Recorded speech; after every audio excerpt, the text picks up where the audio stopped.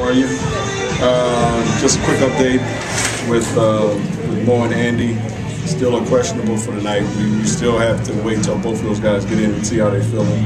Uh, my feeling is though uh, is that Andy is probably more likely to play than Mo. Uh, but again, we'll probably know a little bit more on that in the next 15, 20 minutes. All right, that's it for tonight, right?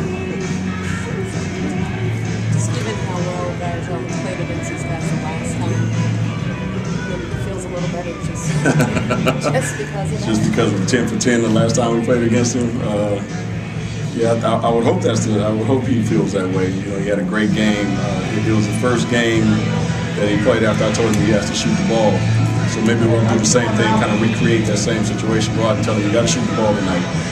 Um, but no, he played fantastic, obviously. You know, but so did Mo. You know, we had pretty much our whole team that night, uh, with the exception of um, Antawn Jamison. Know, who was uh, you know, still ailing a little bit from the knee. Um, you know, so you know, hopefully he can play tonight because obviously he gives us a big spark when he does.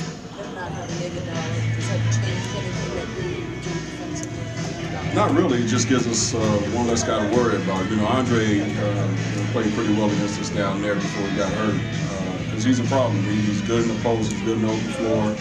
Um, you know, the one thing he, he had a couple of baskets where he kind of took our guys down low. Uh, and before he went out, we were talking about having to come and double team. So, you know, that, that kind of helps our defense a little bit. But obviously, it still doesn't mean we can, you know, relax at all. Uh, they still have some guys who are very capable of scoring. Byron, how much better has Antawn fit in since he's been back now that his knee's up to snuff and he's able to do some things? Yeah, he's been great. You know, I mean, in uh, 25 minutes a game, um, you know, averaging 16 and 9, that's pretty good. He's been and shooting about 50%. So he's he's been playing extremely well for us. Uh, practice, he's been he's been tremendous. Uh, you know, his work ethics, his leadership, and, some of the things that we talked about the other day as far as moving, you know, moving the ball, moving our bodies. He, he's one of our best guys at doing that. You know, so um, you know, hopefully our younger guys will take a real good look at what he did the other day in our practice, and they'll, um, you know, hopefully some of that will rub off. But he's been great.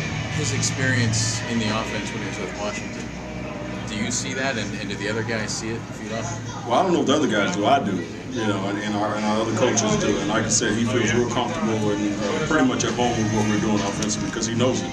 Uh, some of the terminology is a little bit different, but the actions are a lot alike. Uh, you know, we have some different twists and turns to it than he probably had in Washington, but he has a real good feel for what we're doing.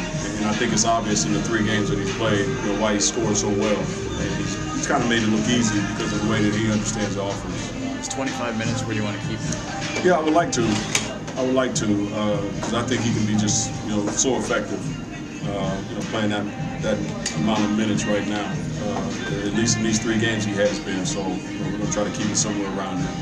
JJ and Antawn have been on the floor together that out of necessity without having Andy, or are you starting to like how that looks? No, it was more out of, out of a necessity because of Andy being missing. You know, so uh, and, but sometimes I know I can still do that depending on the teams that we play. Uh, that have bigger lineups that, that play a bigger three. Uh, but against smaller teams like this team tonight that plays a small four, uh, that would be a little bit more difficult to do. With, with a rib injury, is it just a matter of what he can endure pain-wise? What he can tolerate, yeah, pretty much. You know, it's going to heal slowly. He's got a uh, like a little flak jacket on, uh, just in case. But yeah, that, that's a uh, an injury that you just you know, it takes time to heal. That's the only thing about it. Did you match up with Doug Collins as a player? No, I'm not that old. I couldn't remember if the what the gap was there or not. You weren't Doug was yet? my no, I was not. I had the pleasure of uh, watching Coach play uh, with the 76ers when he was All Star, and then I had the uh, pleasure of being coached by him when I was at Arizona State. So we go all the way back to my junior year in, in college. You know, I was 20 years old, and uh, you know, uh, like I said before, love him to death. Just just an unbelievable person, an unbelievable basketball guy. So um, nothing but good memories about Coach.